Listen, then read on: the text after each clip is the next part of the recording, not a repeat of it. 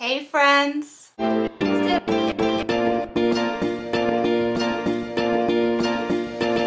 My name is Desiree, aka Momma Friendly, and I do all sorts of videos on my channel, from cooking videos to planner videos, vlogs, hauls, homeschool videos with a Disney twist, a little bit of everything. So if any of this sounds like fun to you, I hope that you'll subscribe and join me on my YouTube adventure. This video is extra special because it's a collab that I am hosting along with my co-host Ellie from DIY From House to Home. I'm gonna have her channel linked below so you guys can check her out and subscribe if you haven't already. But the premise of this video and the collab, of course, is that we wanted to invite our friends to make Easter potluck recipes, Easter treats, just basically recipes that you might serve for an Easter gathering. Now I've already released a couple recipes that I think fit this description. One of them is an asparagus prosciutto tart that I released actually as a St. Patrick's Day recipe. I'll post that up here.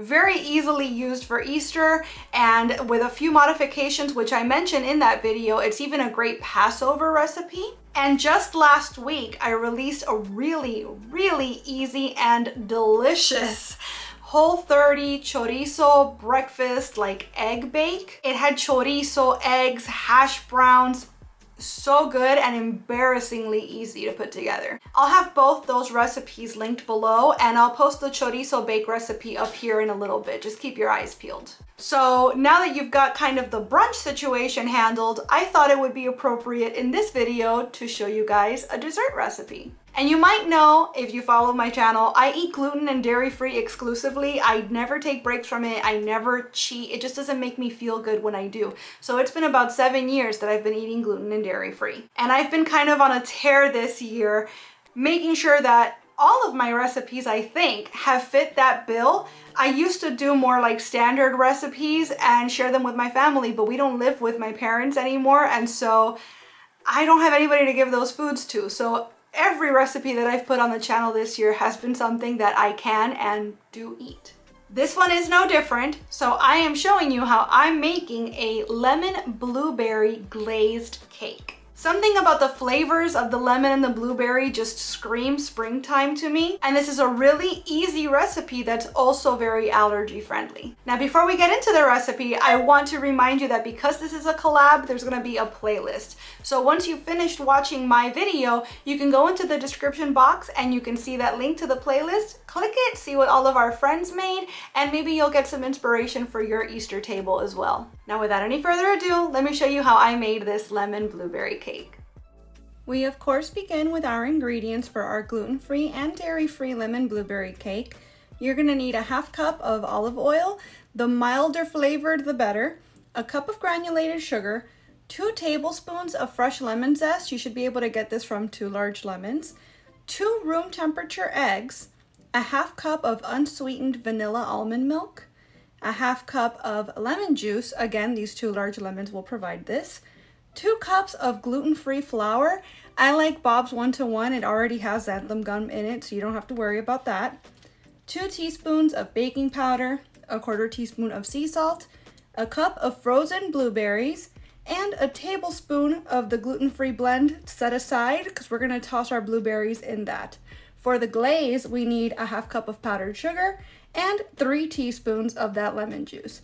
We're gonna begin by preheating our oven to 350 degrees and it says to use a 9 by 5 loaf pan. I don't have a loaf pan, so I'm gonna be using an 8 inch round springform pan. Also, I don't own a zester. I do not recommend trying to get your zest with a vegetable peeler. It is way too thick. But if you have a zester, by all means. If you don't, I think you might even consider skipping the zest altogether it's not absolutely necessary. The juice is going to provide a lot of intense lemon flavor. So I'm starting by taking my half cup of lemon juice and I'm putting it into a small little pan, slowly gonna bring it to a boil and then reduce the heat and simmer until the juice is reduced by half. So you're gonna finish with about a quarter cup of slightly thickened lemon juice. Place it in a bowl and then set it aside to cool.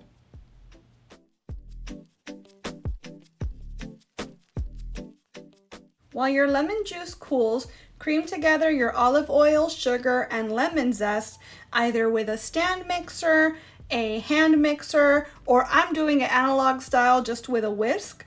Once it's all combined and creamed together, you're gonna add in your eggs one at a time and mix until it's completely smooth.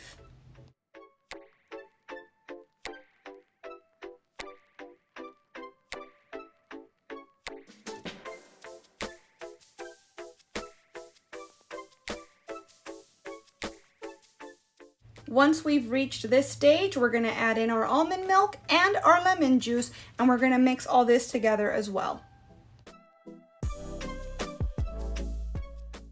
To that very same bowl, we're gonna add our gluten-free flour, our baking powder, and our salt. Mix on low speed or with your whisk, just until the dry ingredients are incorporated. Then you're gonna use a silicone spatula to fold the ingredients together until a smooth batter forms. You only need to do this a few times. You don't wanna knock too much air out of the batter.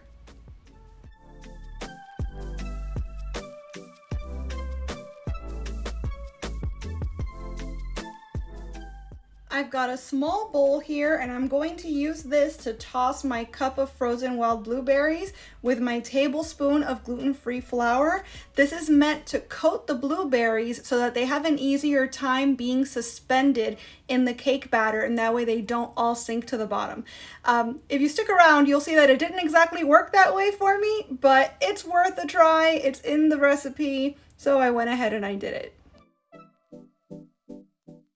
I'm now spooning out the blueberries. I'm leaving all the loose flour behind and I'm putting them into the batter. Fold the berries into the batter really gently and only a few times because if the berries burst, then you're no longer going to have a white cake, you're gonna have a purple cake.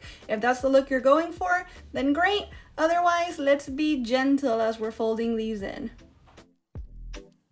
We're gonna go ahead and put our batter into our cake pan. If you were using a loaf pan like the recipe calls for, you would put this in there for 60 to 65 minutes. I Googled a conversion for an eight um, inch pan instead and it said to do 40 minutes. So that's what I did and our cake was perfectly baked.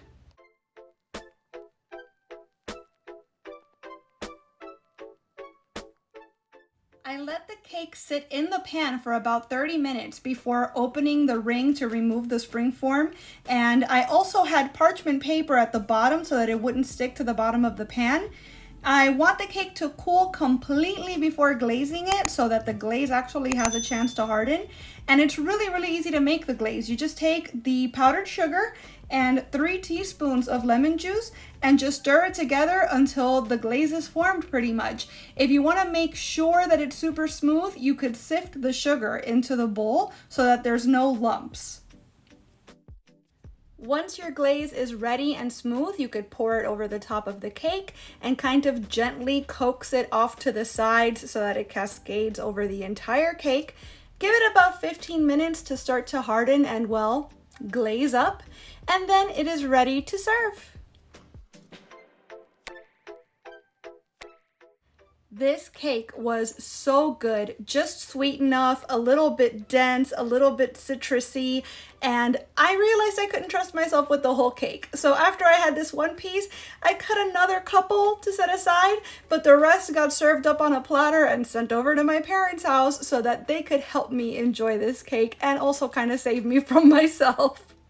All right, friends, there you have it. Um, as you saw, the blueberries kind of sank to the bottom and I coated them with the flour, which usually that helps kind of suspend them in the batter so that that doesn't happen. It happened anyways. I don't know what else I could have done, but regardless, eh, I don't think it affected the texture too much. It definitely didn't affect the flavor. I thought the cake was absolutely delicious, but I love lemony desserts, and this is definitely like punch of citrus all the way. It was pretty easy to make. It was really, really good. Um, it's great for breakfast the next day, as I can personally confirm. And I think it would definitely be a welcome addition to any Easter breakfast or brunch spread. If you decide to make this recipe, I would love for you to come on back and let me know how you liked it. And now that you've seen what I've made, I hope that you'll check out that playlist and see what all of our friends put together as well. I want to thank you so much for watching this video. I really hope that you enjoyed it and if you did, I hope that you will please give it a big thumbs up. I'd also love it if you would subscribe and click that notification bell because I post at least three times a week and I wouldn't want you to miss a minute. Thanks so much again for watching. Bye!